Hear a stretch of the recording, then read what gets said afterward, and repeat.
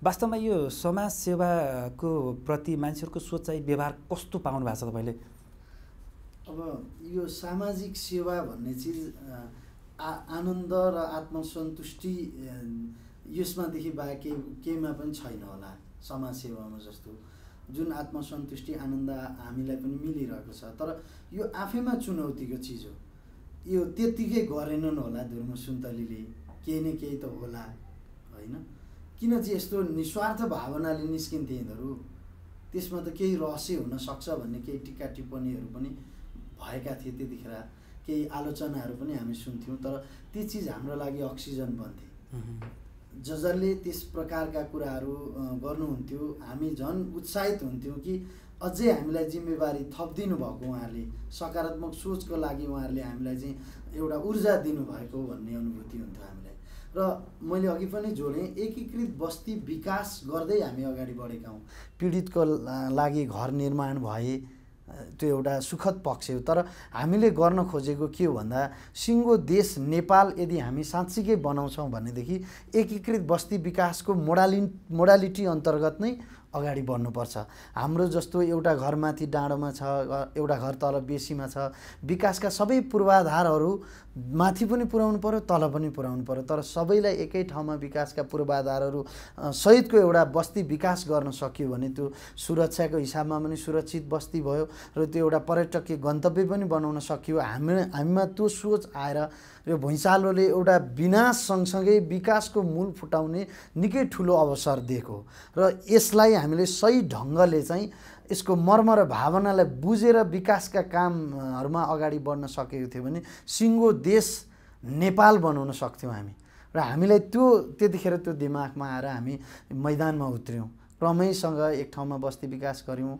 आफ्नो क्षमताले स्रोत साधन जुटाउँदै अपिल अनुरोध गर्दै फेरि अर्को ठाउँमा अलि बढी ठुलो भोल्युममा गऱ्यौँ अर्को ठाउँमा अलि ठुलो हिसाबमा गऱ्यौँ। र यी अभियानमा जुटिरहँदाखेरि हाम्रो समाज त्यस्तो समाज हो कि हामीले एउटा संस्कारको विकास गर्न अझै पनि सकिरहेका छैनौँ। हामी संस्कारी बन्न सकिरहेका छैनौँ र समाज राजनीतिको कारणले छिया छिया भएको छ। किन आए त? के का लागि आए? कस्ता घर बनाउँछन्?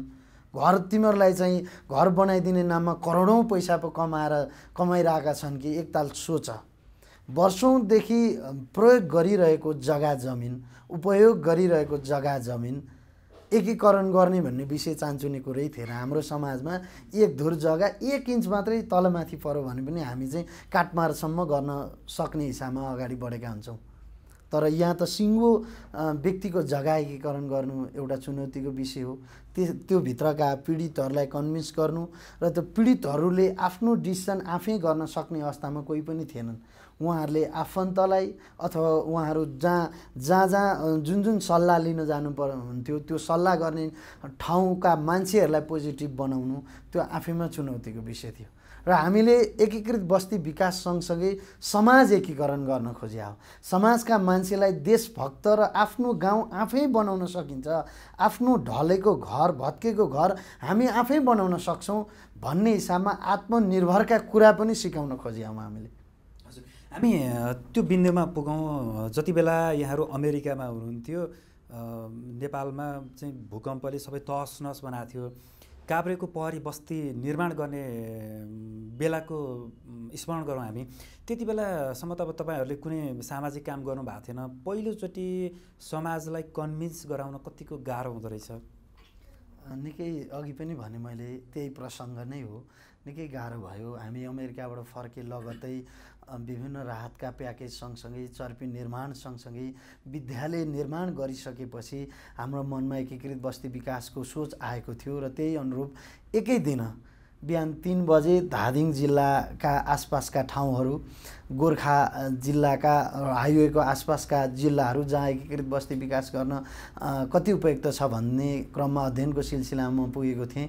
र साढे तिन बजे थानकोट आउँदाखेरि खानेपानी तथा सरसफाइ डिभिजन कार्यालय काभ्रेका प्रमुख मोहन रेग्मीज्यूले चाहिँ मलाई हाम्रो ठाउँमा पनि चर्पी बनाउन आइदिनु न भन्नुभएको थियो। मैले भने सर यो चर्पी सँगसँगै एउटा कम्प्लिट प्याकेज प्याकेजको एउटा बस्ती विकास गरौँ भनेर हामी त्यो काभ्रेको डाँडा गाउँ पहरी बस्तीमा पुगेका थियौँ र त्यहाँको पहरी जो जाति समुदाय छ अत्यन्तै पिछडिएको जाति समुदाय अत्यन्तै पीडामा बसिरहेको जाति समुदाय गुठीको जग्गामा बसेको एउटा समुदाय जो चाहिँ पलाञ्चोक भगवती मन्दिरमा बिहान एक कर्णाली फुल लिएर गएर पलाञ्चोक भगवतीलाई चढाइसकेपछि उहाँहरू चाहिँ बस्न पाउनुहुन्छ। उहाँहरूको सबैको त्यहाँ स्थानीय लगायत त्यहाँको मानिसहरूको भनाइ त्यही थियो र हामी त्यहाँ पुग्दाखेरि जुन दृश्य देखेका थियौँ त्यो आफैमा भावुक थियो हुन त। सि चौधवटा प्रभावित जिल्ला सबैतिर घर भत्केका थिए त्रसित थियो मानवीय क्षति उत्तिकै भएको थियो। त्यो मध्ये त्यहाँ पनि मानवीय क्षति सँगसँगै संरचना भत्केका थिए। घर बनाउने हैसियतमा अथवा अवस्था कसैको थिएन र हामी त्यहाँ पुग्दाखेरि उहाँहरूले आफ्नो डिसिजन आफै गर्न सक्नुहुन्न थियो। हामी सुरुमा तिसवटा घर बनाउने भनेर गएका थियौँ। तल्लो गाउँ छ माथिल्लो गाउँ छ। हामी तल्लो गाउँ बनाउन गएका थियौँ र जग्गा उपलब्ध हुन नसक्ने वातावरण सिर्जना भइसकेपछि हामी माथिल्लो गाउँमा प्रवेश गरेका थियौँ। र माथिल्लो गाउँमा हामीले के भनेका थियौँ सुरुमा भन्दाखेरि मैले तपाईँहरूका लागि म यहीँको काठ यहीँको ढुङ्गा प्रयोग गरेर राम्रो घर बनाउँछु र तपाईँहरूको चाहिँ जग्गा एकीकरण गर्नुपर्छ। त्यसका लागि जग्गा साटफेर गर्नुहोस्। तपाईँहरूको चाहिँ अब गुठीको जग्गा भएकोले चाहिँ भोलि लाल पूर्जाकै प्रक्रियाहरू अगाडि बढाउनका लागि एउटा यो यो अभियानले एउटा तपाईँहरूलाई चाहिँ सपोर्ट पनि गर्ला। भनेर म त्यसरी पुग्दाखेरि उहाँहरूले माथिल्लो गाउँले बिसवटा मात्रै बनाउने भन्ने कुरा गर्नुभयो र हामी फाइनल भएर यहाँबाट काठमाडौँबाट मुभ भयौँ। टेन्ट सेन्ट सबै चिज बोकेर सरसामान सबै बोकेर एकजना इन्जिनियर सहित म काठमाडौँबाट मुभ हुँदै गर्दा भक्तपुर पुग्दै फोन आयो सर नआउनु। किन नआउनु भन्दाखेरि होइन अब खोइ यहाँ कस्तो घर बनाइदिने? कलाकारले घर बनाउने भनेपछि त यहाँ गाह्रो पनि भयो। बनाउन सक्नुहुन्छ र तपाईँहरूले टिभीमा हँसाइरहेको मान्छेले कसरी घर बनाउनुहुन्छ? पख्नु न पख्नु मलाई आउन त दिनु। घर बनाउने मान्छे इन्जिनियरै पनि बोकेर आइरहेछु। म त पहल गर्छु अपिल गर्छु तपाईँहरूसँगै भारी बोक्छु खाल्डो खन्छु के के गर्छु के के गर्छु तर म आउन त दिनु। पुगियो। पुग्ने बित्तिकै जुन जग्गा ओके भयो भनेको जग्गा उपलब्ध हुन सकेन साटफेर गर्नु न मा मासतिरको तलतिर आउनुहोस् सबैजना एक ठाउँमा आउनुहोस् अनि कति क्षेत्रफलमा घर बन्छ त्यति नै क्षेत्रफलको जग्गा उता दिनुहोस् भन्दा पनि कोही कन्भिन्स हुने अवस्था भएन किनभने के हो के हो एकीकृत बस्ती विकास भन्ने भयो। र बेलुका राति एघार बजे मात्रै हामीले एकजना व्यक्तिको अलिक क्षेत्रफल अलिकति उपयुक्त जमिन चाहियो फेरि भोलि पहिरो जाला बस्ती विकास गरिएला पहिरो जाला फेरि मानवीय क्षति होला फेरि अर्को क्षति होला। पहिला त भौगोलिक अवस्था पनि उपयुक्त जग्गा जमिनको छनौट गर्नु पऱ्यो त्यही अन्तर्गतको चाहिँ हुनु पऱ्यो भन्ने थियो र अनि एकजना व्यक्तिको जग्गा ओके भयो बेलुका राति बारीको पाटोमा ट्रेन गाडियो। ट्रेन गाडेर उहाँसँगै हामीले एउटै भान्सामा खाना खायौँ। र एकदम दुःख सुख साट साटफेर गऱ्यौँ। र म टेनमा गएर सुत्न मात्रै लागेको थिएँ बाघ आयो बाघ आयो भनेर। सिङ्गो गाउँ नै एउटा उर्लियो भनौँ न त्रसित भयो। अनि म ट्रेनबाट यस्तो च्याउँदै थिएँ बाख्रो चाहिँ रक्तमै अवस्थामा चाहिँ लिएर आउँदै हुनुहुन्थ्यो केही व्यक्तिहरूले। अब त्यतिखेर यो यो कहिलेको चिज हो भन्दाखेरि जेठको सात गते हो यो। जेठको सात गते बहत्तर वैशाख बाह्रमा भुइँचालो गयो जेठको सात गते त्यहाँ पुग्दाखेरिको त्यो अवस्था।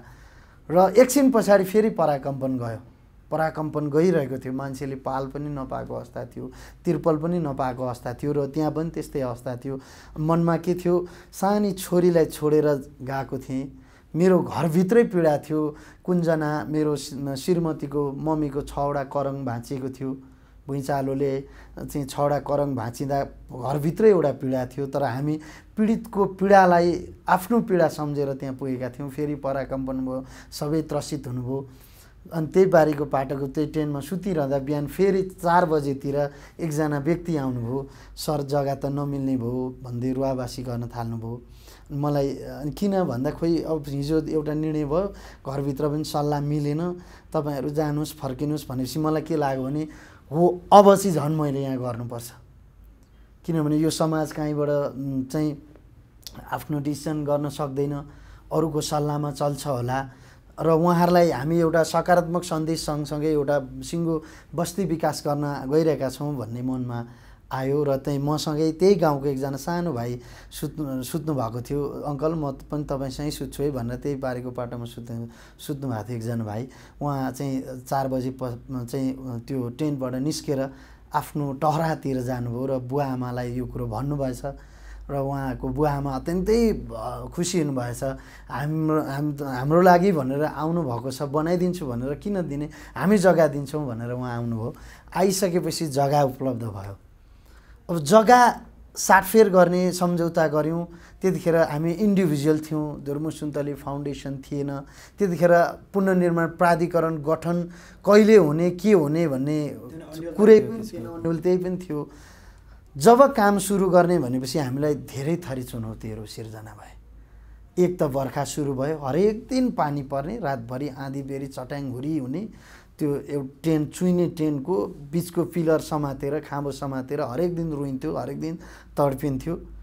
जुन परिकल्पनाका साथ त्यो बस्तीमा पुगेको थियो त्यहीँको काठ प्रयोग गर्छु ढुङ्गा प्रयोग गर्छु भनेर त्यहाँको काठ कुनै पनि काम नलाग्ने भइसकेपछि त्यहाँको उपभोक्ता समिति वन उपभोक्ता समितिसँग चाहिँ कुरा गरेर फेरि तिन किलोमिटर जति बाटोको नयाँ ट्र्याक खोलेर तल जङ्गलबाट सुकेको सल्लोको काठ काटेर त्यो काठ चिर्नलाई तल बाह्र किलोमिटर तल ल्याएर भिरमा त्यत्रो त्यत्रो चाहिँ काठ बोकेर अब हरेकचोटि गर्दनभरि चाहिँ घाउ हुन्थे होइन?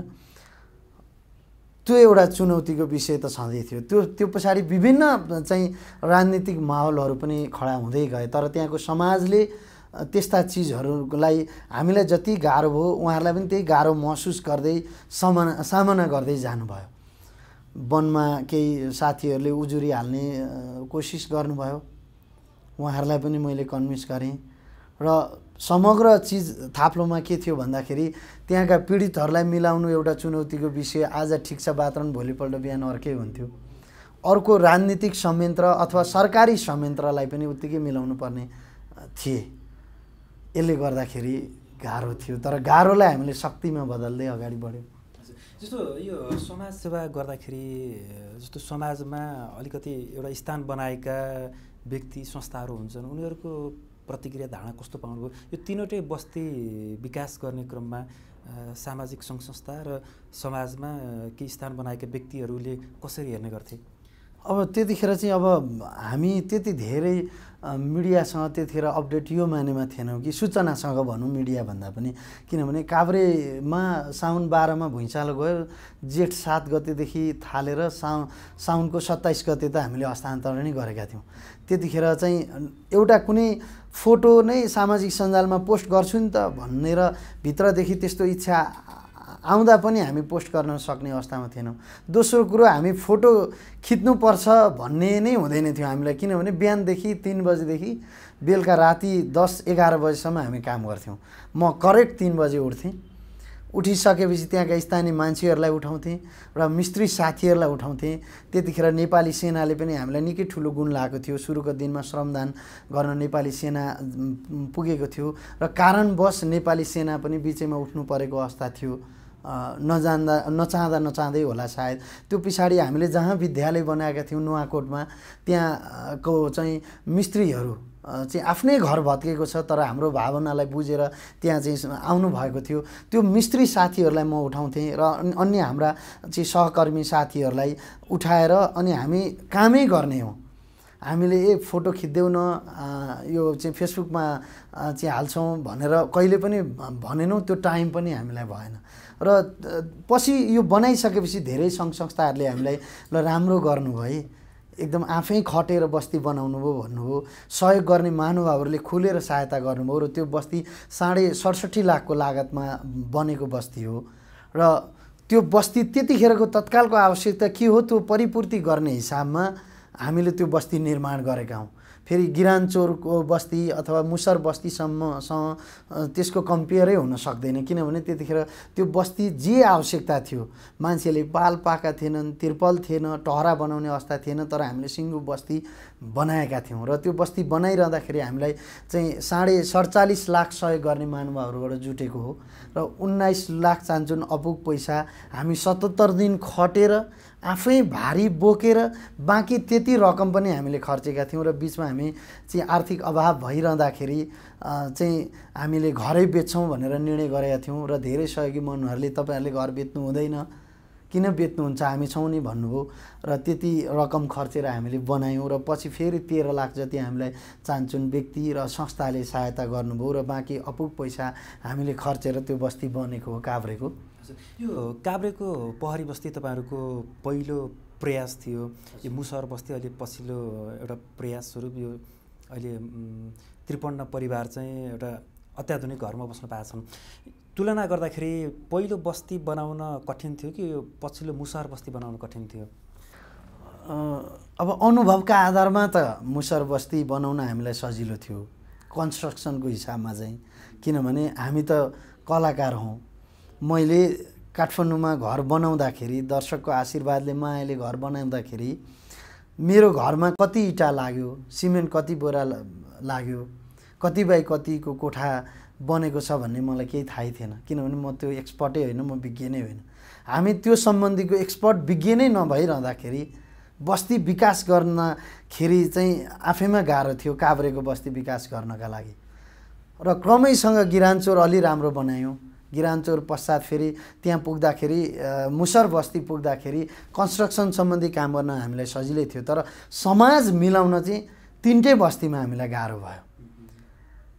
काभ्रेमा चाहिँ सुरुमा हामीलाई कस्तोसम्मको वातावरण सिर्जना भयो भने हाम्रो समाज भनेको घरभित्रै गोठ छ मान मानिसले खाना खाँदैछ बाख्रालाई घाँस हाल्दैछ। र धुर्मु सुन्तलीले जुन एकीकृत बस्ती विकास गर्दैछन् भित्र त गाईबस्तु पा पाल्न निषेध छ। वरिपरि हामी चाहिँ बाँकी जग्गामा गाईबस्तुका टहरा बनाउँछौँ। तपाईँहरू चाहिँ बस्तीभित्र सरसफाइयुक्त भएर बस्नुहोस्। सफा हराभरा राख्नुहोस् हरियाली राख्नुहोस् सफा सुग्घर भएर बस्नुहोस्। त्यसले तपाईँहरूको स्वास्थ्यमा पनि एकदम आयु लम्ब्याउने काम गर्छ। हामी ती कुराहरू सिकाइरहँदाखेरि समाज बिगार्न धुर्म सुन्तली आइरहे। आएका हुनेदहरू कहाँ त्यसरी हुन्छ? गाईबस्तु त गो गोठ त भित्रै हुनुपर्छ। बाघ आएर चाहिँ गाईबस्तु चाहिँ खाइदिएला अरे बाहिर बाहिर। चोर आएर चाहिँ गाई फुकाएर लगिदिएला अरे बाख्रा फुकाएर लगिदिएला अरे। त्यस्तो कहाँ हुन्छ? भन्ने खालका एक खालका कुराकानीहरू पनि त्यहाँ हुन्थे। ती पनि हामीले चाहिँ सुन्नु पर्थ्यो तर त्यहाँ स्थानीय व्यक्तिहरू जसले हाम्रो भावना बुझ्नुभयो पछि माहौल राम्रै हुँदै आयो र सुरक्षाको हिसाबमा पनि असुरक्षित हुने वातावरण सिर्जना भइसकेको थियो। केही साथीहरू चाहिँ यहाँ हुँदैन यो बनाउन भनेर चाहिँ जानुभएको थियो। उहाँहरूलाई मैले साथी बनाएँ र मैले चाहिँ आफ्नोपन महसुस गराउँदै अगाडि बढेँ। आमा दिदी भिनाजु मामा माइजू मित दाई मित के के नाता सम्बन्ध जोड्दाखेरि एउटा समाज एकीकरण गर्न सकिन्छ ती चिजहरू गर्दै अगाडि बढ्यो र मैले अघि भने कन्स्ट्रक्सनको विषयमा सुरुकोमा गाह्रो थियो। दोस्रोमा अलिक गाह्रो तेस्रोमा अलिक सजिलो भयो तर समाज एकीकरण गर्ने विषयमा तिनटै बस्तीमा गाह्रो भएको थियो सुरुमा। जस्तो अब समाजको अगुवाका रूपमा चाहिँ हामीले विभिन्न राजनीतिक पार्टीमा आबद्ध दलका स्थानीय नेता कार्यकर्ता शिक्षक व्यापारीहरूलाई लिने गर्छौँ। उनीहरूको भूमिका कस्तो रह्यो? तपाईँहरूको एकीकृत बस्ती निर्माण अभियानमा उनीहरूको साथ सहयोग अवरोध कस्तो रह्यो? किनभने नेपालको राजनीति त अलिकति जटिल किसिमको पनि छ फेरि। मैले अघि भने नि जस्तो जहाँ जहाँबाट अलिकति नकारात्मक टिक्का टिप्पणी हुन्थे ती त्यही संयन्त्रबाटै थिए होला सायद होइन? तर अब हामीलाई यो टाइम भएन कि कसले कहाँबाट के षड्यन्त्र गर्छ अथवा कसले के भनिरहेछ हामी सुन्दैन पनि थियौँ। होइन? हामीले त छिटो सक्नुपर्छ पीडितको छिटो उद्धार गर्नुपर्छ र भुइँचालोले विनाश त भयो तर विकासको मूल फुटाउने ठुलो अवसर दिएको हो। यही बेलामा हामीले देशको लागि काम गर्ने हो। सिङ्गो देश नेपाल बनाउनु पर्छ हरेक व्यक्ति एउटा सरकार भएर काम गर्नुपर्छ। सरकार सबै ठाउँमा नपुग्न सक्छ। तर हाम्रो अभियान त सरकारलाई सघाउने सरकारलाई बलियो बनाउने सरकारलाई दलियो दरिलो बनाउने अभियान थियो। किनभने पीडितहरू त सर्वत्र पीडै पीडामा हुनुहुन्थ्यो। हामीले थोरै कोसिस गरिदिउँ भनेदेखि पीडितको उद्धार हुन्छ र अन्य संस्थाले कोसिस गर्नुहुन्छ अन्य व्यक्तिले कोसिस गर्नुहुन्छ इच्छा शक्ति भएका मान्छेहरू धेरै चाहिँ देश निर्माणमा जुट्नुहुन्छ। सरकारले पनि ती इच्छा शक्ति भएका व्यक्ति संस्थासँग समन्वयकारी भूमिका निर्वाह गर्छ भनेर नै हामी एउटा पेसालाई थाँती राखेर मैदानमा उत्रेका हौँ। र यसरी एकीकृत बस्ती विकासकै मोडालिटीमा काम गर्न जाँदाखेरि इन्डिभिजुअल घर बनाउने सोच थियो भने त हामी यतिखेर पन्ध्र सय दुई हजार घर बनाउँथ्यौँ होला। जहाँ भत्केको छ त्यहीँ गएर घर बनाइदिन गाह्रो थिएन किनभने पानी पनि पुगेको थियो बाटो पनि पुगेको थियो। अब यो छुट्टै ठाउँमा एकीकृत बस्ती विकास गर्दाखेरि सङ्ख्यात्मक हिसाबमा घर थोरै भए पनि अवधारणा हिसाबमा यो एकदम ठुलो परियोजना थियो। त्यसले गर्दाखेरि यो हुन नदिन बनाउन नदिनका लागि धेरै ठुलो चलखेल पनि सुरु भएकै थियो। चाहे त्यो आर्थिक सङ्कलनको विषयलाई लिएर चाहिँ हामी अगाडि बढिरहँदाखेरि धुर्मुसे सुन्तलीले पीडितका नाममा पैसा उठाउँछन् तिमीहरूका घर बनाइदिँदैनन् उनीहरू चाहिँ आफ्नो काठमाडौँमा मल ठडाउनका लागि चाहिँ यो काम गरिरहेका छन्। किन पैसा दिने उनीहरूलाई? विश्वसनीयताको आधार के छ त? किनभने हाम्रो समाज त्यही पृष्ठभूमिबाट हुर्के बढेर आएको किनभने हामी कसैको प्रगति चाहँदैनौँ। कसैले राम्रो काम गर्दैछ भनेदेखि राम्रो त गर तर यसको ब्याकअप के हो? यो कहीँबाट परिचालित छ कि? कि यसलाई नआइ त यसले यस्तो त गर्दै गर्दैन। भन्ने समाजबाटै म पनि हुर्केर आएको मेरो श्रीमती पनि हुर्केर आएको हामी सम्पूर्ण नेपाली दाजुभाइ दिदीबहिनी त्यही समाजबाट हुर्केर आएका हौँ।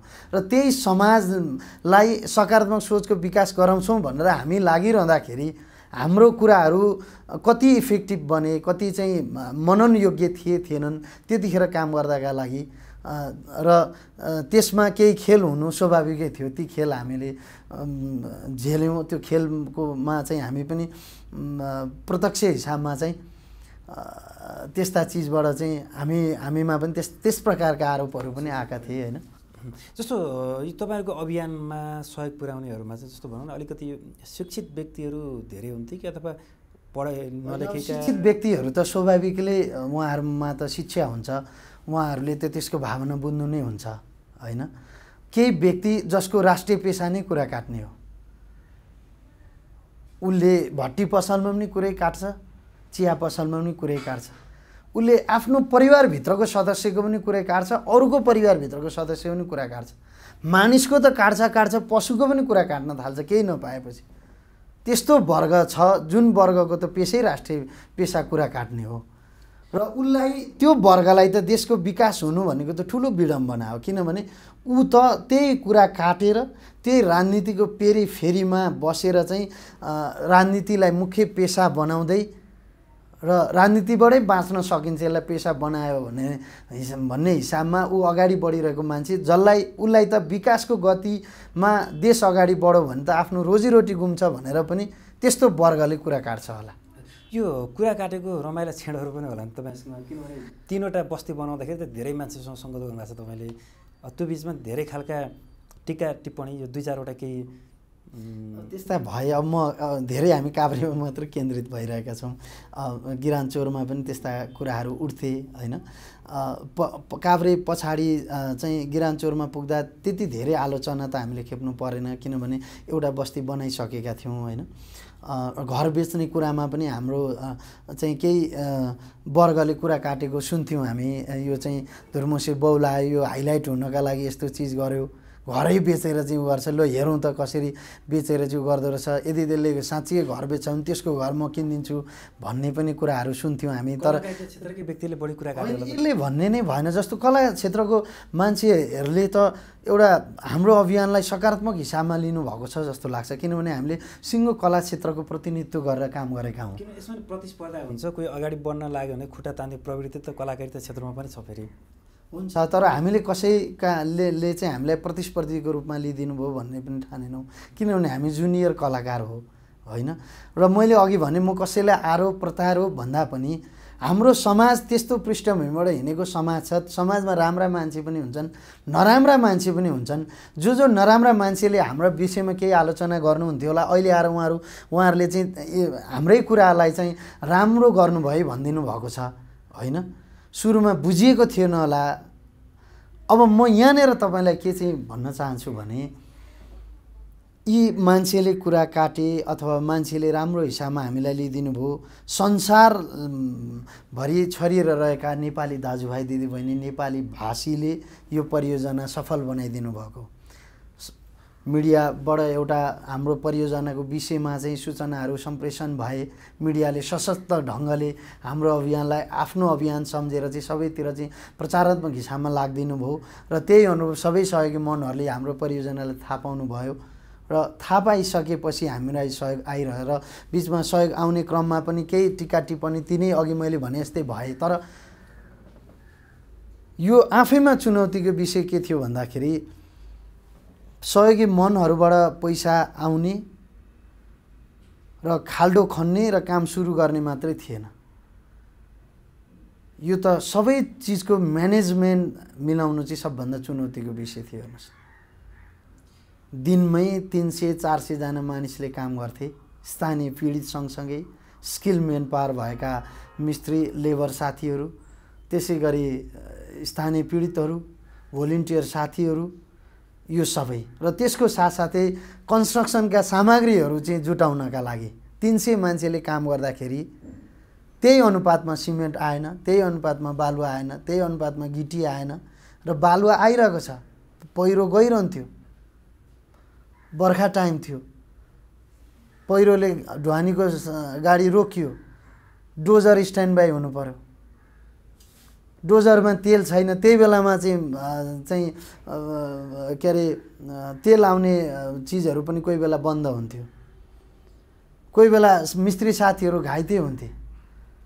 र हाम्रै फाउन्डेसनमा जतिबाट चाहिँ जति पनि साथीहरू खटिनुभयो उहाँहरूलाई पनि यो धुर्म सुन्तली फाउन्डेसनले गरेको काममा म सहयोगी बन्न आएको होइन। म पनि एउटा राष्ट्र निर्माणको प्रक्रियामा आइरहेको छु त्यो मोटिभेसन दिनु पर्थ्यो। र हर दिन तनावै तनाव प्रेसरै प्रेसर यो थियो। कि सहयोगी मनहरूले आफ्नो रगत र पसिना बगाएर विदेशी भूमिमा चाहिँ पचपन्न डिग्रीको घाममा दुःख गरेर जसको आफ्नै घर भत्किएको छ आज गिरानचोर हेर्नका ठडिएको हेर्नलाई आज काभ्रे ठडिएको हेर्नलाई मुसर बस्ती ठडिएको हेर्नलाई सहायता गर्नुभएको थियो। हामीले एक इन्च पनि अलिकति पनि तलमाथि चाहिँ म्यानेजमेन्टमा मात्रै कमजोर गरेका थियौँ भने निर्धारित समयमा सकिँदैन थियो। हो त्यतिखेर चाहिँ सबैभन्दा दुःख पनि यो मानेमा लाग्थ्यो। पानी पर्थ्यो जमिन सम्याएको हुन्थ्यो। गिरानचोरको कुरा गर्दाखेरि चाहिँ हामीले जमिन सम्मायौँ। डेढ महिना लाएर चाहिँ त्यो बुलडोजर चलाएर जमिन सम्मायौँ। रातभरि परेको पानीले बिहान त्यो सम्याएको जमिन केही बाँकी राख्दैन। सबै चिज बगाइदियो त्यस्ता त्यो क्षणमा कति भावुक भयो र त्यस्ता क्षण छन् जतिखेर म धेरै समय रुन्थेँ। र आफ्नो आत्मालाई अलिक बलियो बनाउँथेँ। यो यसरी बनेका चिज हुन्। जस्तो यहाँको समाजसेवाका लागि चाहिँ अब देश विदेशबाट खुला हृदयबाट चाहिँ आर्थिक सहयोग गर्नुभएको छ। यसरी सहयोग गर्नेहरूमा स्वदेशमा रहने नेपाली दाजुभाइ धेरै छन् कि अथवा विदेशमा रहने नेपाली दाजुभाइ धेरै छन्? कस्तो? सङ्ख्यात्मक हिसाबमा चाहिँ स्वदेशमा भन्दा विदेशमा बढी हुनुहुन्छ। श्रमदान त स्वदेशभित्रबाटै धेरै भयो। र विदेशमा बडै हामीलाई धेरै ठुलो सपोर्ट पनि भएको हो व्यक्तिगत पनि संस्थागत पनि होइन? त्यही हो मैले अघि भने नि हामी त एउटा नेतृत्वकर्ता मात्रै हौँ। हामीले एउटा सुरुवात मात्रै गऱ्यौँ। र सुरुवातमा चाहिँ सबै नेपाली दाजुभाइ दिदीबहिनीले साथ दिनुभयो। र हिजोको दिनमा म सत्र सय पैसा एउटा तन्ना एउटा झल्ला र एक बोरा चामल बोकेर आएको म काठमाडौँमा पाइला टेकेको म सीताराम कटेल। आज यही राजधानीमा धुर्मुस भएको छु। संसारले धुर्मुसको रूपमा कलाकारितामा चिनिदिनु भयो। आज समाजसेवी धुर्मुसको उपनाम पनि दिनुभएको छ। कि उहाँ उहाँहरूकै कारणले हो यो सबै चिज। र आज म चाहिँ एकै वर्षमा चाहिँ दुई दुईवटा बस्ती ठडाउन सक्ने भएको छु। जब म त्यो सम्बन्धीको विज्ञ होइन म एक्सपर्टै होइन आज म पढेर इन्जिनियर भएको छु होला। आज मलाई मेरो घर बनाउँदाखेरि इँटा कति प्रयोग गरियो कति बाई कतिको कोठा बनाइयो कौसी कता निकाल्ने भन्ने सामान्य ज्ञानसम्म नभएको म सीताराम कटेल। आज पीडितहरूका घर बनाइरहँदाखेरि घर त यत्र बनाउनु पर्ने रहेछ यस्तो साइजको बनाउनु पर्ने रहेछ यति चाहिँ सामग्री ल्यायो भनेदेखि डिपिसी ढलान हुने रहेछ पिलर यस्तो बनाउनु पर्ने छ डन्डी यति बाई यति एमएमको हाल्नु पर्ने रहेछ भन्ने केही ज्ञान बटुल्दै अगाडि बढेको छु। जस्तो समाजले तपाईँलाई हेर्दाखेरि सीताराम कटेलको रूपमा बढी हेर्छन् कि धुर्मुसको रूपमा बढी हेर्छन् अहिले? अब मायाले धुर्मुसकै रूपमा मलाई चिन्नुहुन्छ। र सीताराम कटेल त धेरैलाई पछि मात्रै थाहा भएको हो।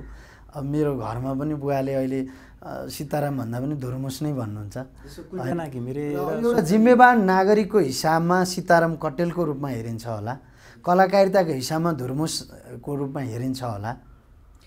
कुञ्जना घिमिरे सुन्तले आज हामीसँग हुनुहुन्थ्यो यति बेला। तर उहाँ यही प्रश्न उहाँकै सन्दर्भमा पनि के हुन्छ? कुञ्जना घिमिरे भनेर बढी हेर्छन् अथवा सुन्तली भनेर बढी माया गर्छन्? सुन्तलीकै हिसाबमा धेरै माया गर्नुहुन्छ होला? मैले भने नि एक एक एक नागरिकको हिसाबमा कुञ्जना घिमिरे एउटा पहिचान हो होइन? कलाकारिताको उपनाम हो सुन्तली। जस्तो यहाँहरू अब समाजसेवामा यहाँहरूको एकजना कलाकारिता र समाजसेवामा चाहिँ एउटा जोडी जसरी जमिरहनु भएको छ यहाँहरूको व्यक्तिगत जीवनमा कुञ्जना घिमिरेलाई यहाँले सुन्तली भन्नुहुन्छ अथवा कुञ्जना भनेर बोलाउनुहुन्छ के कस्तो छ पारिवारिक?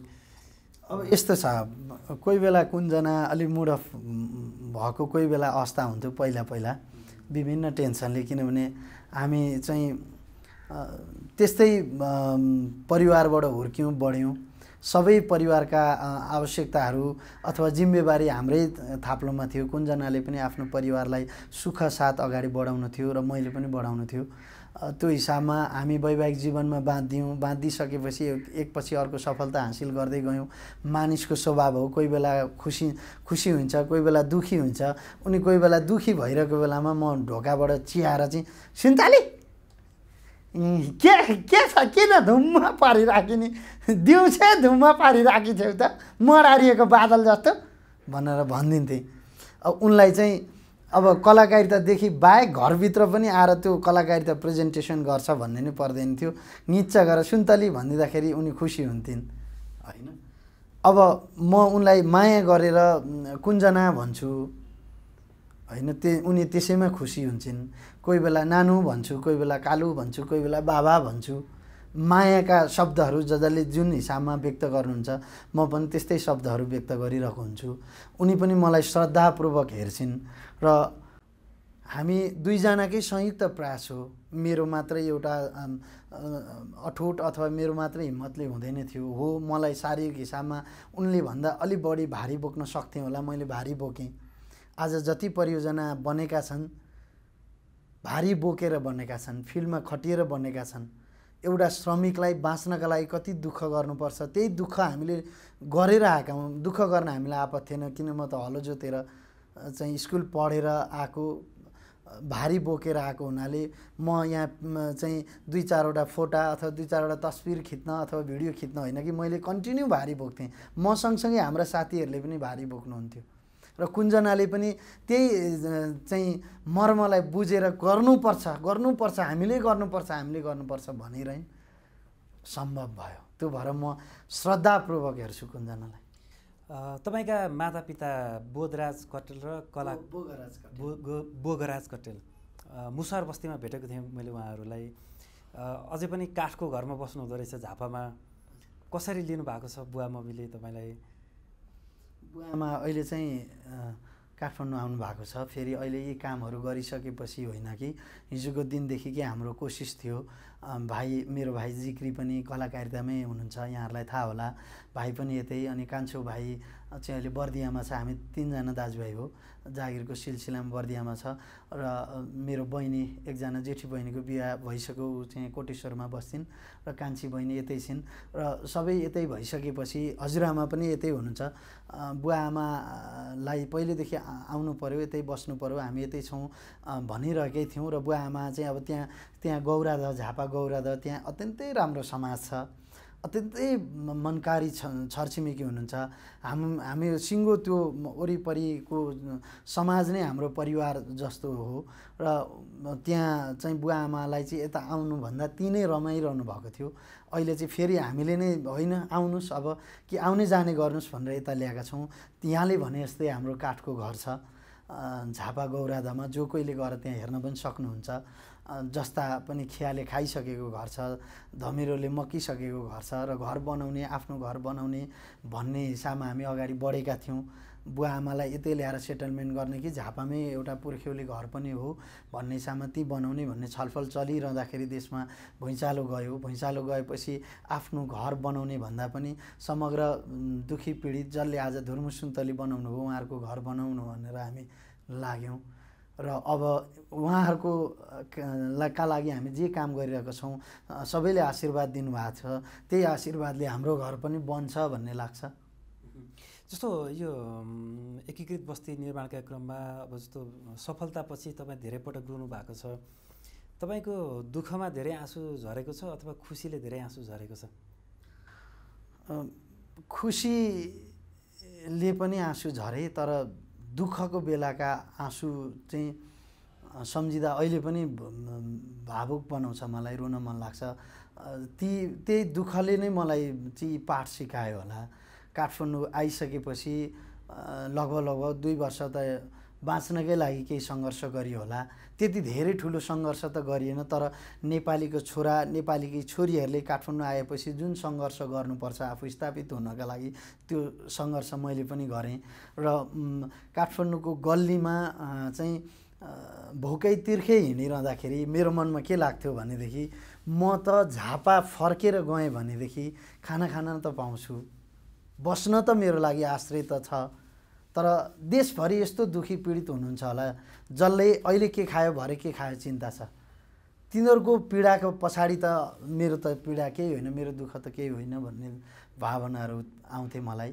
त्यो भएर काठमाडौँमा त्यतिखेर पनि धेरै पटक रुन्थेँ र खुसीको आँसु पनि आए। जतिखेर चाहिँ मैले आफ्नै क्षेत्रको श्रीमती पाएँ वैवाहिक जीवनमा बाँधियो। हिजोको दिनमा एक्लै काठमाडौँ छिरेको म आज परिवार जोड्दैछु। त्यस पछाडि मेरो भाइ जिक्री युके पढ्न जाने कुरा भयो। मैले ऋणै खोजेर भए पनि उसलाई चाहिँ युके पढ्नलाई पठाएँ। त्यतिखेर म सक्षम भएँ। म आज भाइलाई एउटा ठुलो देशमा पढ्न पठाउँदैछु। त्यतिखेर रोएँ। अनि बिए भएपछि निरन्तर कलाकारितामा सँगसँगै यात्रा गरिरहँदाखेरि हाम्रो बच्चा छोरी जन्मिन् लक्ष्मी जन्मिन्।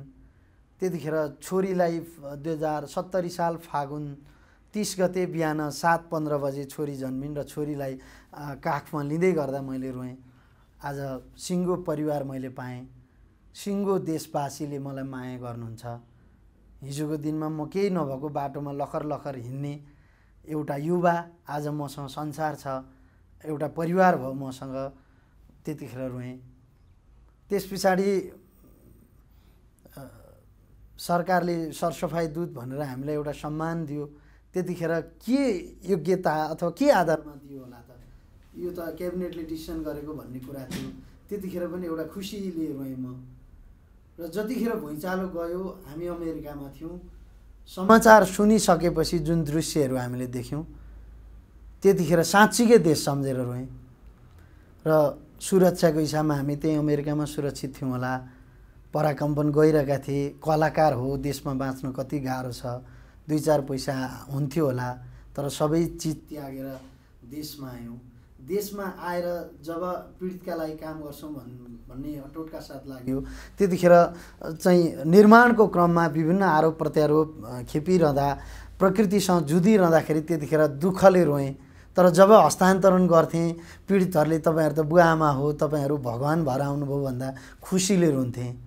गिरानचोरमा पनि त्यही खुसीले रोएँ। हुन त चारजना वृद्ध वृद्ध हुनुहुन्थ्यो। त्यही निर्माणको अवधिमै ती वृद्ध वृद्धहरूलाई मैले गृह प्रवेश गराउन सकिनँ। उहाँहरूको त्यो दुःखद निधनमा पनि म धेरै पटक रोएँ। जब हस्तान्तरण गरेँ त्यतिखेर मलाई संसार जिते जस्तो महसुस भयो। प्रकृतिसँग जुत्दै यत्रो सहयोगी मनहरूसँग अपिल गर्दै सबैलाई खुसी बनाउँदै दसैँ जस्तो चाडमा शुद्ध तिनै मिस्त्रीहरूसँग तिनै पीडितहरूसँग चाहिँ चाहिँ रमाउँदै काम गर्दै गऱ्यौँ हामीले। जब सबै घरमा खुसी हुन्थ्यो होला हामी खुसी नै थियौँ तर ती पीडितहरूसँग दसैँ मनाउँदाको खुसी अर्कै थियो त्यहाँ रोएँ र अहिले मुसर बस्तीको कुरा गर्दा एकजना मरनी सदा आमा जो यहाँले पनि भेट्नुभयो मरनी सदा एक सय तिन वर्षदेखि बाख्राको खोरमा पराल ओछ्याएर बस्नुहुन्थ्यो सुत्नुहुन्थ्यो। आज उहाँको त्यो पराली जिन्दगी बाख्राको खोरमा जिन जीवन बिताउनु भयो एक सय तिन वर्ष चान्चुने कुरो थिएन। उहाँले जिन्दगीमा पहिलोचोटि घर पाउनुभयो। उहाँको आँखामा आएको आँसुले म रोएँ। जस्तो यो तपाईँले तिनवटा बस्ती हस्तान्तरण गर्ने क्रममा तपाईँको काम देखेर भावुक भएका आँखामा आँसु निकाल्ने व्यक्तिहरू कति पाउनुभयो? के उदाहरण? धेरै व्यक्तिहरू हुनुहुन्थ्यो जो चाहिँ फिल्डमा पुगेर पनि हाम्रो कामलाई देखेर खुसी हुनुहुन्थ्यो। र उहाँहरूको आँखामा आँसु पनि आउँथ्यो। साँच्चीकै राम्रो काम गर्नुभएको रहेछ भन्नुहुन्थ्यो। र म अहिले यही तपाईँको चाहिँ टिभी च्यानल मार्फत म अपिल गर्न चाहन्छु। तपाईँहरूले भिडियो देख्नुभएको छ दृश्य देख्नुभएको छ। तस्विरहरू देख्नुभएको छ। तर तपाईँहरू एकपटक फिल्डमा पुग्दाखेरि साँच्चीकै के गरेका रहेछन् धुर्म सुन्तलीले भन्ने चिज चाहिँ प्रत्यक्ष देख्दाखेरि तपाईँहरूलाई पनि त्यो इमोसन आउ आउँछ होला त्यो भावना आउँछ होला। हामी के कार्य के का लागि लडिरहेका रहेछौँ भन्ने अनुभूति चाहिँ सायद त्यहाँ पुगेपछि थाहा हुन्छ हजुर। अहिले यति बेला पनि तपाईँ निकै भावुक हुनुभएको छ। होइन भावुक चाहिँ मैले सबै चिजहरू सम्झिँदै पनि आएँ होइन सबै घटनाक्रमहरू किनभने अहिले पनि हामी आज पनि रातभरि पानी पऱ्यो मैले ती क्षणहरू सम्झेँ। जब म काठमाडौँमा छु सुरक्षित छु। अझै पनि ती पीडितहरू जस जसको वासस्थानको जो कसरी गर्ने चिन्ता उत्तिकै छ टहरामा बस्नु भएको छ रात दिन पानी परिरहेछ हावा हुन्डरी आइरहेको छ र फेरि पनि मानवीय क्षति नहोला भन्ने छैन। नहोस् कामना गर्छौँ। तर ती पीडितहरूको अवस्था सम्झिँदाखेरि मैले अहिले बिचमा त्यस्तो अवस्थाहरू सम्झेँ र आफू खटेको चिज त्यो खटाइहरूलाई सम्झेँ त्यो भएर म भावुक भएँ। तपाईँ यसरी अब गरिब दुखी पीडितका बस्तीमा गएर उहाँहरूलाई एउटा ओत दिनुभएको छ खुसी दिनुभएको छ। यो खुसी दिने काम त राज्यको सरकारको सरकारी निकायको हो। ती निकायहरूले ती क्षेत्रमा गएर ती दुखी पीडितहरूलाई नहेर्दा तपाईँलाई कस्तो लाग्छ? नहेरेकै चाहिँ पनि होइन मैले अघि भने नि सरकारको उपस्थिति सबै ठाउँमा नपुग्न पनि सक्छ। पुर्याउनु पर्छ। यो त दायित्व त फेरि सरकारकै हो। तर अब यो सङ्कटको घडीमा जति पनि नीति नियमहरू बनाइन्छन् सरकारका जति पनि नीति नियमहरू छन् ती ती नीति नियमहरू चाहिँ छिटो प्रक्रिया अन्तर्गतका हुनु पर्थे हिजोको दिनमा सरकार जसरी चलेको छ आजको दिनमा पनि त्यसरी नै चल्नुपर्छ त्यही मापदण्ड अन्तर्गत चल्नुपर्छ त्यही नीति र त्यही प्रक्रिया त्यही सिस्टममा चल्नुपर्छ होइन। यी नीति नियम भन्ने चिज त मानिसले बनाएका हुन्। हाम्रै सरकारले बनाएको हाम्रै सरकारका प्रमुखहरूले बनाएका हुन्। विश्वलाई थाहा छ भूकम्प पीडितलाई आश्रय दिनु वासस्थान गर्नु अथवा पुनर्निर्माण गर्नु। तर हाम्रा नीति नियम त्यति बेलाकै जुन पहिलादेखि चलिरहेका थिए जुन पहिलादेखिको सिस्टम थियो त्यही सिस्टम यहाँ बसाल्न खोज्नु नै यो चाहिँ अहिलेको यो यी कुराहरू आउनु हो। जस्तो लाग्छ। र काम गराइमा चाहिँ कहाँनिर करेक्सन गर्नुपर्ने देख्नुहुन्छ तपाईँ? अब मुख्यतः मैले अहिले यो जोडेको विषय नै नीति नियम प्रक्रियाहरू छन् नि। यिनीहरूलाई चाहिँ झन्झटिलो प्रक्रिया अन्तर्गत ढिला सुस्तीका प्रक्रिया अन्तर्गत होइन। जस्तो पुनर्निर्माण केही कुरा गरिरहनु पर्दाखेरि राष्ट्रिय पुनर्निर्माण प्राधिकरण आफैले नै पुनर्निर्माण गर्न सक्ने संयन्त्र छैन। कि स्थानीय विकास मन्त्रालय अन्तर्गत बढ्नु परेको छ कि त सहरी विकास मन्त्रालय अन्तर्गत बढ्नु परेको छ इन्जिनियरिङ सहायता गर्नु पऱ्यो अथवा फिल्डमा सिकर्मी डकर्मी पठाउनु पऱ्यो भने पनि अन्य मन्त्रालय अन्तर्गत समन्वयकारी भूमिका निर्वाह गरेर अगाडि बढ्नु पऱ्यो त्यस सँगसँगै अर्थ मन्त्रालय पनि त्यहीभित्र जोडिएको छ। मलाई के लाग्थ्यो भनेदेखि भुइँचालो गइसकेपछि यो एउटा अवसर हो र एउटा डाँडामा अथवा सिन्धुपाल्चोकमा एउटा मोडलका घरहरू निर्माण गर्ने। दोलखामा अर्को मोडलका घर घरहरू निर्माण गर्ने अर्को जिल्लामा अर्को अर्कोमा अर्को गर्ने र एउटै रङ रोगन जस्तो सिन्धुपाल्चोकमा बनेका घरहरू यस्ता रङ रोगनका बन्ने दोलखामा बनेका घरहरू यस्ता रङ रोगनका बन्ने। भन्ने हिसाबमा व्यक्ति अथवा सङ्घ संस्था जसले चाहिँ यतिवटा घर बनाइदिन्छु उतिवटा घर बनाइदिन्छु भनेर त्यतिखेर पनि भन्नुभएको थियो सबैले घर बनाऊ।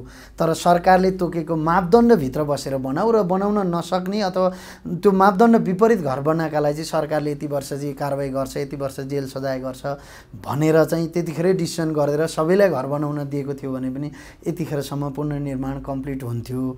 अर्को चाहिँ अब यति धेरै मन्त्रालयहरू हामी खोल्छौँ एउटा मन्त्रालय बनेको छ त्यसलाई टुक्राउँछौँ फेरि त्यो मन्त्रीको भागभन्डाका विषयलाई लिएर फेरि अर्को मन्त्रालय थप्छौँ। यत्रो धेरै ठुलो चाहिँ जिम्मेवारी छ सरकारलाई।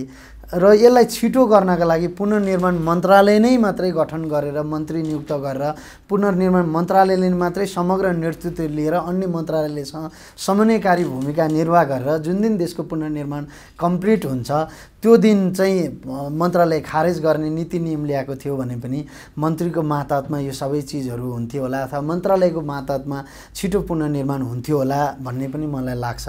अर्को हाम्रो जस्तो प्राकृतिक स्रोत र साधनले भरिपूर्ण देश प्राकृतिक सुन्दरता भएको देश हामीले गौतम बुद्ध चाहिँ नेपालमा जन्मिनु भयो हामीले त्यही प्रचार गऱ्यौँ। विश्वबाट पर्यटकहरू लुम्बिनी हेर्न आउनुहुन्छ। सगरमाथाको देश नेपाल हामी त्यही प्रचार गरिरहेका छौँ। विश्वको अग्लो चुचुरो नेपालमा छ। त्यही प्रचार गर्छौँ।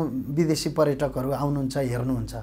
यो पुनर्निर्माण भुइँचालो गइसकेपछिको पुनर्निर्माण हेर्न विश्वभरिबाट मान्छे आउनुहुन्थ्यो। आज गुजरातको डेभलपलाई हामी हेरौँ। भुइँचालो पछाडिकै डेभलप हो गुजरात। चाइनाको एउटा सहर मलाई अहिले एक्ज्याक्ट नाम थाहा नभएन थाहा भएन। त्यहाँ अहिले विश्वभरिबाट चाहिँ पुनर्निर्माण पछा पछाडिको चाहिँ त्यो विकास हेर्न मान्छे जान्छन्। हाम्रो देशमा विश्वको ध्यान आकर्षण थियो। विश्वभरिबाट सहायता आएको थियो र पुनर्निर्माण गर्दा संरचना राम्रा सुन्दर संरचना एउटै डिजन एउटै मोडालिटीका सम्भव भएसम्म एकीकृत बस्ती विकास गर्दै इन्डिभिजुअल घर बनाउनु पऱ्यो भने पनि एउटै रङ रोगनका बनाएको थियौँ यदि भनेदेखि हुन त अझै पनि बिग्रिया छैन। अझै पनि हामी सबैजना लाग्ने इच्छा शक्ति भएका व्यक्ति संस्था र सरकार सबै लाग्ने हो भनेदेखि यो चिजलाई सम्भव गराउन सकिन्छ। पुनर्निर्माण त कति नै भएको छ र होइन? यस्तै बन्न सकेको थियो भने साँच्चीकै पुनर्निर्माण सँगसँगै देश बन्थ्यो होला जस्तो लाग्छ मलाई। मैले यिनीहरू अलिकति जोड्न खोजेँ जस्तो भूकम्प गएको अब दुई दिनपछि दुई वर्ष पुग्दैछ।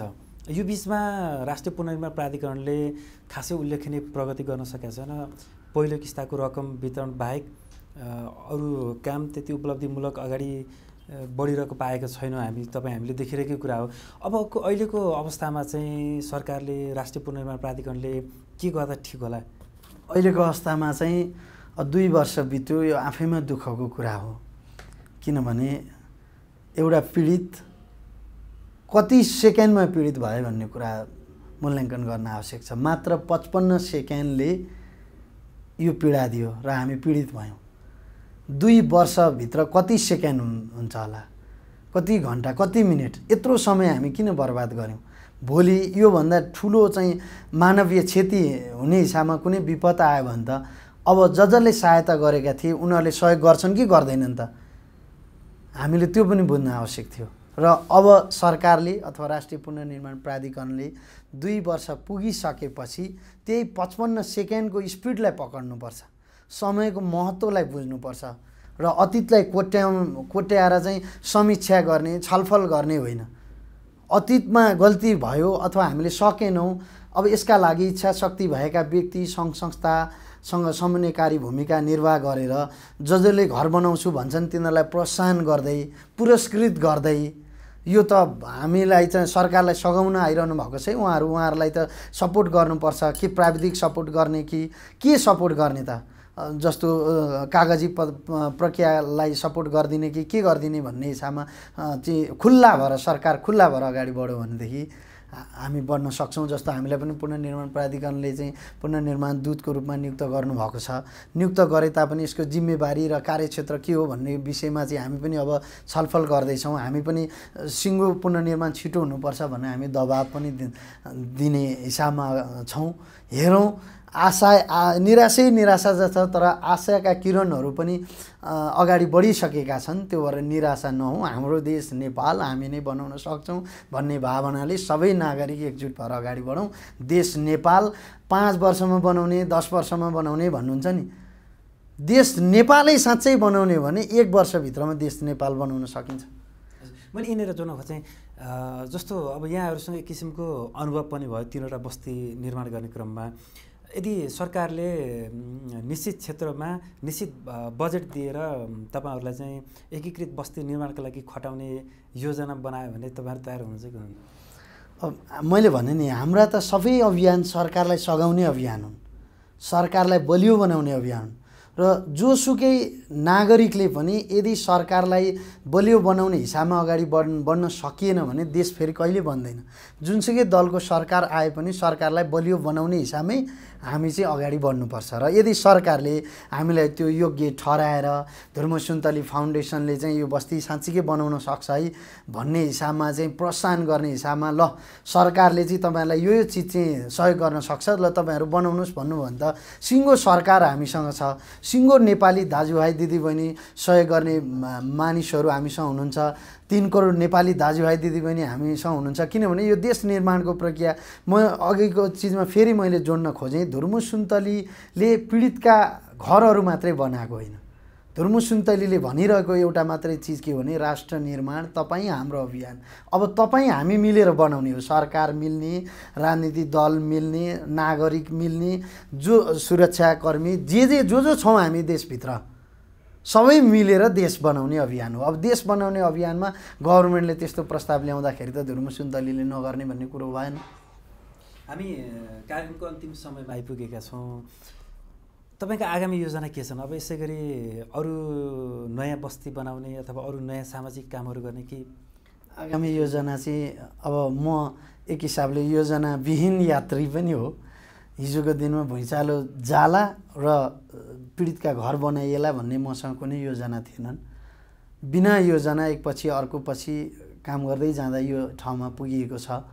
त्यति धेरै ठुलो चमत्कारी त केही नभए पनि एउटा सेवामुखी भावनाले अगाडि बढेको छु र आफ्नो पेसालाई थाँती राखेर काम गरेको हो। आफ्नो पेसालाई पनि निरन्तर अगाडि बढाउने भन्ने सोच छ। र योभन्दा अलिकति ठुलो भोल्युममा एउटा अर्थपूर्ण परियोजना फेरि चाहिँ गर्ने भन्ने सोच छ किनभने धेरैले हामीलाई प्रश्न गरिरहनु भएको छ धर्मसुन्तलीको आगामी योजना के भन्नुहुन्छ? र धर्मसुन्तली फाउन्डेसन एउटा परियोजना आँट्छ पैसा हुँदैन फिल्डमा जान्छ र सबै सहयोगी मनबाट चाहिँ सहयोग जुटाउँछ त्यो खर्च परियोजना कम्प्लिट भइसकेपछि त्यो खर्च सिद्धिन्छ। अनि हामीलाई परियोजनालाई पैसा पुग्यो है भन्छौँ। फेरि अर्को आँट्छौँ फेरि माग्छौँ फेरि पुग्छ फेरि पुग्यो है भन्छौँ। तिनवटा परियोजना सकिसकेपछि धुर्मसुन्तली फाउन्डेसनमा अलिअलि पैसा बचेको छ त्योदेखि बाहेक त्यस्तो उल्लेख्य ठुलो पैसा बचेको छैन अहिले मुसर बस्ती गर्दा पनि। र हामीलाई गाह्रो र चुनौती के हुँदै गएको छ भनेदेखि मन यति धेरै मन छ धन छैन तर मन यति धेरै छ सबैका घर बनाइदिउँ सबै सबै दुःखी पीडित असहायको सहारा बनेर काम गरौँ भन्ने छ। त्यसका लागि कोष खडा गर्नलाई धुर्मसुन्तली फाउन्डेसनमा कम्तीमा दस करोड पन्ध्र करोड बिस करोड अथवा कति हुन्छ त्यतिको एउटा कोष खडा गर्न पायो भनेदेखि भोलि जुनसुकै विपद पर्दा पनि हामीले अर्थपूर्ण सहायता गर्न पाऊँ। कि हामीले गरेको सहयोगले कि त्यसको जीवन बनोस्। थोरै होइन राम्रो सहायता गर्न पाऊँ त्यो पनि एउटा इच्छा छ। त्यो पनि एउटा योजना छ र अर्को चाहिँ अर्को एउटा ठुलो एउटा परियोजना चाहिँ हामी केही समयपछि घोषणा गर्ने सोचमा छौँ र त्यो निकै ठुलो खर्चमा बन्ने परियोजना हो र निकै अर्थपूर्ण पूर्ण र नेपाललाई विश्वमा चिनाउने एउटा हामी परियोजना आँट्ने हिसाबमा छौँ। अहिलेलाई यति नै छन् हाम्रा योजनाहरू। हस् तपाईँको आगामी योजनाले गरिब शोषित पीडित जनताको ओठमा मुस्कान थपियोस्। तपाईँको आगामी योजना सफल बनोस् हाम्रो शुभकामना छ। यहाँलाई पनि धेरै धेरै धन्यवाद। यहाँको टिभी च्यानल जहाँ मलाई हेरिरहनु भएको छ सम्पूर्ण मलाई प्रत्यक्ष रूपमा हेरिरहनु हुने सम्पूर्ण दर्शकहरू सम्पूर्ण सहयोगी मनहरू जो हाम्रो लागि भगवान् हुनुहुन्छ यहाँहरूको साथ र सहयोगले नै हामी यति धेरै ठुला कामहरू गर्दै सामाजिक काममा अगाडि बढिरहेका छौँ। समाजलाई परिवर्तन गर्न र समग्र राष्ट्र निर्माणको यो अभियानमा हामीलाई अझै यहाँहरूले खुलेर साथ र सहयोग गरिदिन पनि अनुरोध गर्दछु। यहाँको च्यानल जसले हाम्रा मनका कुराहरूलाई चाहिँ अन्तर्वार्ता मार्फत चाहिँ दर्शक सामु पस्किने मौका दिनुभयो। तपाईँलाई पनि विशेष विशेष विशेष धन्यवाद र तपाईँको सम्पूर्ण परिवारलाई धन्यवाद दिँदै ढिलै भए पनि नयाँ वर्ष दुई हजार चौहत्तर सालको पावन अवसरमा सम्पूर्ण नेपाली दाजुभाइ दिदीबहिनी नेपाली भाषीहरूमा हृदयदेखि हार्दिक मङ्गलमय शुभकामना व्यक्त गर्न चाहन्छु। हस् धन्यवाद। दर्शकवृन्द आज हामीले कार्यक्रम वारपारमा नेपाली हास्य व्यङ्ग्य कलाकारिता क्षेत्रका एकजना चर्चित हास्य व्यङ्ग्य कलाकार साथसाथै समाजसेवाका क्षेत्रमा छोटो समयमै चर्चा कमाउन सफल हुनुभएका साथसाथै धेरै नेपालीहरूलाई एउटा राम्रो वासस्थानको व्यवस्था मिलाएर समाजमा गतिलो उदाहरण प्रस्तुत गर्नुभएका हास्य व्यङ्ग्य कलाकार सीताराम कट्टेल धुर्मुससँग आज हामीले कुराकानी गऱ्यौँ आगामी दिनमा हामी अन्य व्यक्तित्वसँग यस्तै रमाइला रोचक प्रेरणादायी कुराकानी लिएर यहाँहरू समक्ष उपस्थित हुनेछौँ। आजका लागि कार्यक्रमबाट म शम्भु दङ्गाल बिदा हुन्छु। नमस्कार।